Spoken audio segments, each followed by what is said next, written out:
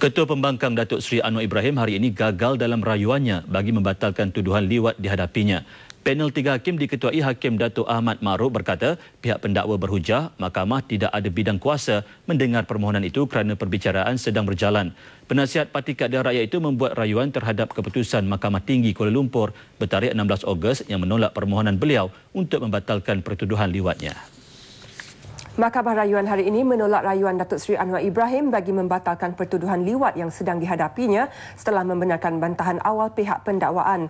Keputusan sebulat suara itu dibuat oleh panel tiga hakim yang diketuai Hakim Datuk Ahmad Makrub bersama Datuk Sulaiman dan Datuk Ma'ah Azhar. Hakim Datuk Ahmad berkata pihak pendakwa berhujah bahawa mahkamah tidak mempunyai bidang kuasa untuk mendengar permohonan itu kerana perbicaraan sedang berjalan. 16 Ogos lalu, Hakim Mahkamah Tinggi Datuk Muhammad Zabidin Muhammad Diah telah menolak permohonan Karpal untuk menggugurkan tuduhan liwat terhadap Anwar. Ia selepas memutuskan bahawa dakwaan hubungan timbalan pendakwa raya Farah Azlina Latif dan Muhammad Saiful Buhari Azlan tidak menjejaskan kes pendakwaan terhadap Anwar.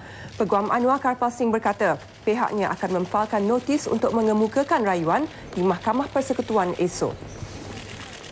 Mahkamah Rayuan Putrajaya menolak rayuan Datuk Seri Anwar Ibrahim bagi membatalkan pertuduhan liwat yang sedang dihadapinya.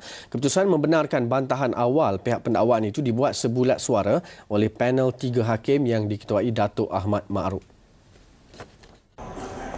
Penasihat Parti Keadilan Rakyat PKR itu memfalkan rayuan setelah tidak berpuas hati dengan keputusan Mahkamah Tinggi pada 16 Ogos lalu yang menolak permohonannya untuk membatalkan pertuduhan liwat. Hakim Datuk Muhammad Zabidin Dia memutuskan demikian setelah berpuas hati bahawa dakwaan mengenai hubungan antara Timbalan Pendakwa Raya Farah Aznina Latif dan saksi utama pendakwaan lebih bersifat andaian ketua pembangkang itu semata-mata. Mahkamah berpendapat afidavit jawapan pegawai penyiasat Superintendent Juni Blasius Pereira dan DPP Muhammad Hanafiah Zakaria juga jelas menyatakan bahawa peranan Farah Azrina begitu terhad dengan hanya mencatat nota keterangan di mahkamah. Hakim juga berpuas hati bahawa Farah Azlina tidak ada mempunyai akses kepada kertas siasatan atau terlibat dalam sebarang taklimat berhubung strategi pengendalian kes. Berikutnya itu Muhammad Saiful Buhari selaku saksi pendakwa pertama tidak mempunyai akses kepada kertas siasatan atau maklumat yang terkandung dalam kertas siasatan melalui Farah Azlina yang kini digugurkan daripada pasukan pendakwaan.